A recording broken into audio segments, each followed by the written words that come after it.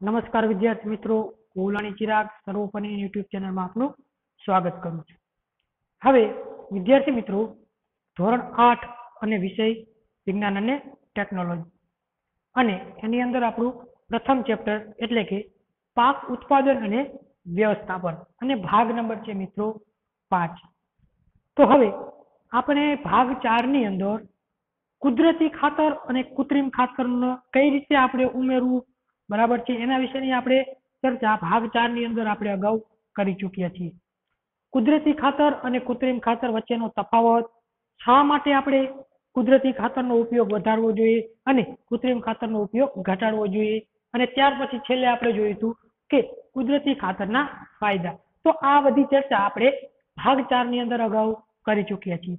તો હવે આપણો આગળનો જે ટોપિક આવે છે એટલે કે ખેતી કરવા માટે આપણે સૌપ્રથમ કીધું કે સૌપ્રથમ આપણે ભૂમિને તૈયાર કરવી, એના વિશે આપણે ચર્ચા કરી, ત્યાર પછી વાવણી કરવી, એના વિશે પણ આપણે ચર્ચા કરી, ત્યાર પછી આપણે ભાગ ચારની અંદર જોયું કે કુદરતી અને કૃત્રિમ ખાતર ઉમેરવું, બરાબર છે? એના વિશે પણ આપણે ચર્ચા કરી. અને હવે સિંચાઈ.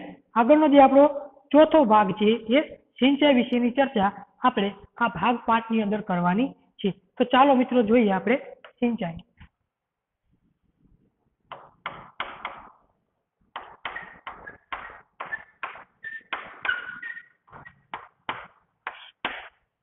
સિંચાઈ. બરાબર છે મિત્રો? તો જોઈએ કે જીવંત રહેવા માટે પ્રત્યેક સજીવને પાણીની આવશ્યકતા રહેલી છે. જો સજીવોને પોતાનું જીવન ટકાવી રાખવું હોય, તો એને પાણીની ખૂબ જ આવશ્યકતા રહેલી છે. તો એટલા જ એટલા જ માટે કીધું છે કે જીવંત રહેવા માટે પ્રત્યેક સજીવને પાણીની આવશ્યકતા રહેલી છે. જીવંત રહેવા માટે પ્રત્યેક સજીવને પાણીની આવશ્યકતા રહેલી છે. જીવંત રહેવા માટે પ્રત્યેક સજીવને પાણીની આવશ્યકતા રહેલી છે. આગળ જોઈએ.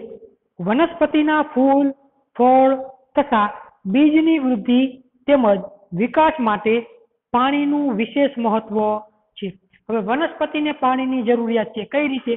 કે વનસ્પતિના ફૂલ, ફળ તથા બીજની વૃદ્ધિ તેમજ વિકાસ માટે પાણી વિશેષ મહત્વ છે. વનસ્પતિના ફળ, ફૂલ તેમજ તેની વૃદ્ધિ તેમજ વિકાસ માટે પાણી મહત્વપૂર્ણ છે. વનસ્પતિની વૃદ્ધિ અને વિકાસ માટે પાણી મહત્વપૂર્ણ છે. વનસ્પતિના મૂળ દ્વારા પાણીનું શોષણ થાય છે. જે આપણે અગાઉ ધોરણ સાતની અંદર પ્રકાશ સંશ્લેષણની ક્રિયા દ્વારા જે આપણે સમજી ચૂક્યા છીએ કે વનસ્પતિના મૂળ દ્વારા શું થાય છે? પાણીનું શોષણ થાય છે.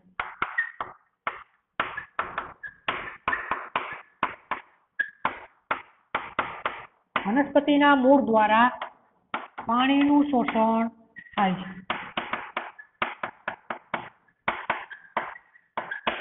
વનસ્પતિના મૂળ દ્વારા પાણીનું શોષણ થાય છે. જેની સાથે ખનિજો અને ખાતરોનું પણ શોષણ થાય છે. સમજાણું મિત્રો? જેની સાથે ખનિજો અને ખાતરોનું પણ શોષણ થતું હોય છે. આગળ જોઈએ. વનસ્પતિમાં લગભગ નેવું ટકા પાણી હોય છે. સમજો વનસ્પતિમાં લગભગ નાઇન્ટી પર્સન્ટેજ પાણી હોય છે. વનસ્પતિમાં શું હોય છે? લગભગ નેવું ટકા પાણી હોય છે. પાણી આવશ્યક છે, કારણ કે બીજનું અંકુરણ શુષ્ક પરિસ્થિતિમાં થતું નથી. હવે પાણી છે એ વનસ્પતિ માટે આવશ્યક છે, કારણ કે બીજનું ઉગવું એ શુષ્ક પરિસ્થિતિમાં ઉગતું નથી. એટલે બીજનું જે અંકુરિત થાય, એ અંકુરિત બીજ થાય એ સૂકી પરિસ્થિતિમાં થઈ શકતું નથી. એટલા માટે વનસ્પતિ માટે પાણી એ આવશ્યક છે. પાણીમાં ઓગળેલા ખનિજોનું વહન વનસ્પતિના પ્રત્યેક ભાગમાં થાય છે. હવે આ પાણીની અંદર જે ઓગળેલા ખનિજો છે સમજો પાણીની અંદર ઓગળેલા જે ખનિજો છે, એ ખનિજોનું વહન પાણીની સાથે સાથે વનસ્પતિના પ્રત્યેક ભાગની અંદર થાય છે. તે પાકને ઠંડી તેમજ ગરમ હવાથી રક્ષણ આપે છે. આ શું કરે છે? જુઓ તો કે પાકને ઠંડી તેમજ ગરમી હવાથી રક્ષણ આપે છે. સ્વસ્થ પાકના ઉછેર માટે જમીનમાં પાણીનો ભેજ જાળવી રાખવા માટે ખેતરમાં નિયમિત રીતે પાણી આપવું આવશ્યક છે. એટલે કે જમીનની અંદર જે ભેજ હોય, એ ભેજની જાળવણી માટે આપણે સમયાંતરે પાણી આપવું જરૂરી છે. તો સમયાંતરે ખેતરમાં પાણી પૂરું પાડવાની ક્રિયાને સિંચાઈ કહેવામાં આવે છે. હવે સમજાવો મિત્રો, સિંચાઈ કોને કહેવાય?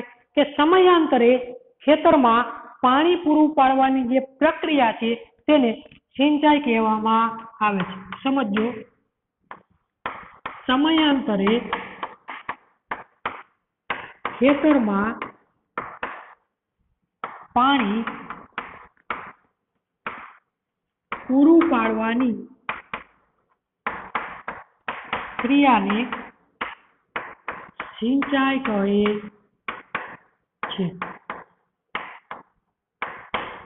સમયાંતરે ખેતરની અંદર પાણી પૂરું પાડવાની જે પ્રક્રિયા છે, એને સિંચાઈ કહેવામાં આવે છે. આગળ જોઈએ. સિંચાઈનો સમય અને માત્રા દરેક પાક મુજબ, જમીન મુજબ અને ઋતુ મુજબ જુદા જુદા હોય. સિંચાઈનો સમય કે આપણે કયા સમયે સિંચાઈ કરવી? બરાબર છે? એનો સમય અને માત્રા, એટલે કે કેટલી સિંચાઈ કરવી? એનો સમય અને માત્રા દરેક પાક મુજબ, એટલે કે અલગ અલગ પાક મુજબ, જમીન મુજબ અને ઋતુ મુજબ જુદા જુદા હોય છે. સમજો. સિંચાઈનો સમય તેમજ માત્રા.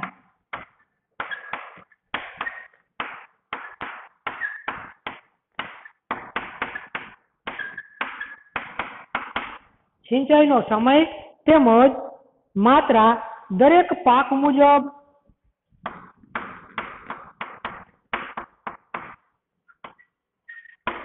જમીન મુજબ. અને ઋતુ મુજબ. જુદા જુદા હોય છે. એટલે કયા પાકને કેટલા પાણીની આવશ્યકતા છે? બરાબર, કયા સમયે કયા પાકને પાણીની જરૂર હોય છે? ત્યાર પછી, કેવી જમીન છે? તો એને કેટલા પ્રમાણમાં પાણીની જરૂર છે? ત્યાર પછી, ઋતુ દરમિયાન. તો આ આવા આવા મુદ્દાને આધીન એ સિંચાઈનો સમય અને માત્રા છે એ કેવી હોય છે? જુદી જુદી હોય છે. તો ઉનાળામાં પાણી આપવાની માત્રા વધારે હોય છે. કારણ કે ઉનાળાના ઉનાળાની ઋતુની અંદર ખૂબ જ ગરમી પડે છે. અને એ ગરમીની ઋતુની અંદર આપણે પાણીની ખૂબ જ આવશ્યકતા હોય છે. તો એટલા માટે ઉનાળાની ઋતુમાં ખેતરની અંદર પાણીની માત્રા કેવી કેવી છે તો કે વધારે જરૂર છે શા માટે એવું હોય છે? તો કે શું? જમીન તેમજ પર્ણો દ્વારા બાષ્પીભવનનો દર વધારે હોવાથી આવું હોઈ શકે છે.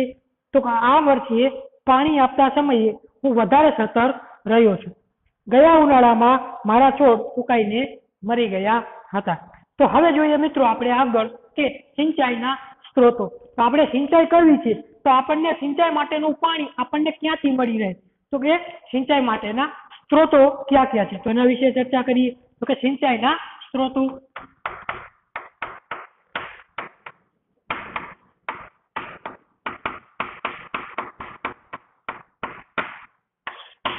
સિંચાઈના સ્ત્રોતો.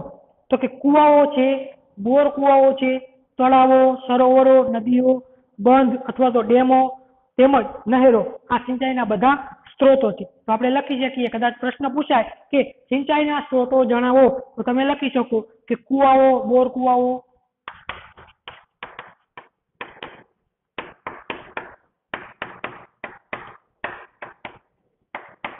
કુવાઓ બોર કુવાઓ તળાવો, સરોવરો, નદીઓ.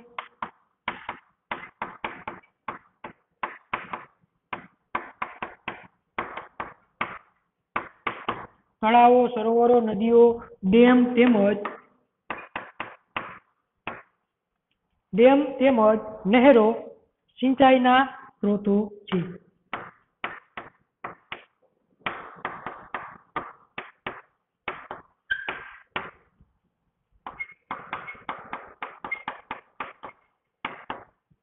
તો આ છે મિત્રો બધા સિંચાઈના સ્ત્રોતો. એટલે કે આપણે સિંચાઈ માટેનું પાણી ક્યાંથી પ્રાપ્ત થતું હોય છે? તો કે કુવાઓ છે, બોર કુવાઓ છે, તળાવો છે, સરોવરો, નદીઓ છે, ડેમ છે, તેમજ નહેરો છે. તો આ સ્ત્રોતોમાંથી આપણને સિંચાઈ માટેનું પાણી પ્રાપ્ત થતું હોય છે.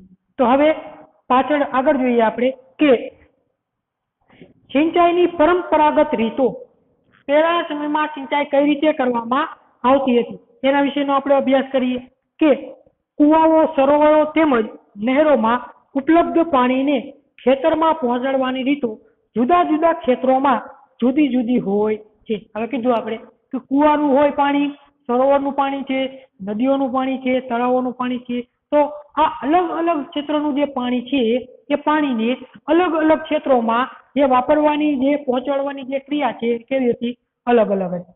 હવે જોઈએ કે ઢોર અથવા મજૂર આ ક્રિયાવિધિમાં ઉપયોગમાં લેવામાં આવે છે. હવે દાખલા તરીકે કુવાનું પાણી છે કે સરોવરનું પાણી છે? એ પાણીને ખેતર સુધી પહોંચાડવામાં આવે તો જેના દ્વારા પહોંચાડવામાં આવતું? તો એ પાણી પહોંચાડવા માટે આપણે ઢોર જેવા પ્રાણી, ઢોરનો અથવા તો મજૂરોનો ઉપયોગ કરવામાં આવતો હોય છે. અર્થાત, એટલે કે આ રીતો સસ્તી છે. પરંતુ ઓછી કાર્યક્ષમ છે. વિભિન્ન રીતો, એટલે કે અલગ અલગ જે બીજી રીતો છે એ નીચે પ્રમાણ છે. કે મોટ, એટલે કે ગરગડીયુક્ત વ્યવસ્થા. પછી ચેન પંપ, ત્યાર પછી ડેકલી પછી રહે. હવે આ બધી જે રીતો છે, મોટ છે ચેન પંપ છે, ઢેકલી છે રહેટ છે, તો આ બધી જે પદ્ધતિ તમને પાઠ્યપુસ્તકની અંદર આકૃતિમાં તમે જોઈ શકો છો. પેજ નંબર આઠ ઉપર તમને આ બધી રીતોની આકૃતિ તમને આપેલી છે. તો સૌથી પહેલી આકૃતિ, એટલે કે એ આકૃતિ છે, એ મોટની તમને દર્શાવવામાં આવેલી છે. ત્યાર પછી છે બીજી આકૃતિ, એટલે કે બી આકૃતિ છે, એ ચેન પંપની તમને દર્શાવવામાં આવેલી છે. ત્યાર પછી ઢેકલીની આકૃતિ તમને સી આકૃતિ છે એ દર્શાવેલી છે. અને ચોથી આકૃતિ બળદનો જેમાં ઢોર તરીકે ઢોરનો ઉપયોગ કરવામાં આવ્યો છે એ રહેટની આકૃતિ તમને ડી તમને દર્શાવવામાં આવેલી છે. તો આ થઈ મિત્રો પરંપરાગત પદ્ધતિ એટલે કે સિંચાઈ માટેની પહેલાના સમયમાં કઈ રીતે સિંચાઈ કરવામાં આવતી એના માટેની આ પદ્ધતિઓ દર્શાવેલી છે. તો હવે મિત્રો, આધુનિક સિંચાઈ પદ્ધતિ, એટલે કે હવેની જે પદ્ધતિઓ છે, હવે કઈ પદ્ધતિ દ્વારા સિંચાઈ કરવામાં આવે છે, એ એના વિશેની ચર્ચા આપણે ભાગ છ ની અંદર કરીશું. તો અત્યારે આપણે આ ભાગ પાંચની અંદર જોયું મિત્રો, કે સિંચાઈ માટેની પદ્ધતિ વિશે સિંચાઈ કોને કહેવાય, બરોબર, કઈ રીતે સિંચાઈ કરવી જોઈએ? તો જીવંત રહેવા માટે પ્રત્યેક સજીવને પાણીની આવશ્યકતા હોય છે, વનસ્પતિના ફળ ફૂલ તેમજ તેનો વૃદ્ધિ અને વિકાસ માટે પાણીની ખૂબ જ જરૂરિયાત હોય છે. વનસ્પતિના મૂળ દ્વારા પાણીનું શોષણ થાય છે, જેની ખનિજો અને ખાતરો એમાં વહન પામે છે. ત્યાર પછી વનસ્પતિમાં લગભગ નાઇન્ટી પર્સન્ટેજ એટલે નેવું ટકા પાણી હોય છે. સમયાંતરે ખેતરમાં પાણી પૂરું પાડવું એ ક્રિયાને શું કહેવામાં આવે છે? સિંચાઈ કહેવામાં આવે છે. સિંચાઈનો સમય તેમજ માત્રા દરેક પાક મુજબ, જમીન મુજબ અને ઋતુ મુજબ જુદા જુદા હોય છે. ત્યાર પછી આપણે આગળ જોયું કે સિંચાઈના સ્ત્રોતો. એટલે કે કેવી કેવી જગ્યાએથી આપણે સિંચાઈ માટેનું પાણી પ્રાપ્ત થતું હોય છે. તો કે કુવાઓ છે બોર કુવાઓ છે, તળાવો છે, સરોવરો, નદીઓ, ડેમ તેમજ નહેરોમાંથી સિંચાઈનું પાણી આપણને પ્રાપ્ત થતું હોય છે. તો હવે જે આગળની ચર્ચા છે કે આધુનિક સમયમાં સિંચાઈ કઈ રીતે કરવામાં આવે છે. તો એના વિશેની ચર્ચા આપણે ભાગ છ ની અંદર કરીશું. અત્યારે બસ આટલું નમસ્કાર.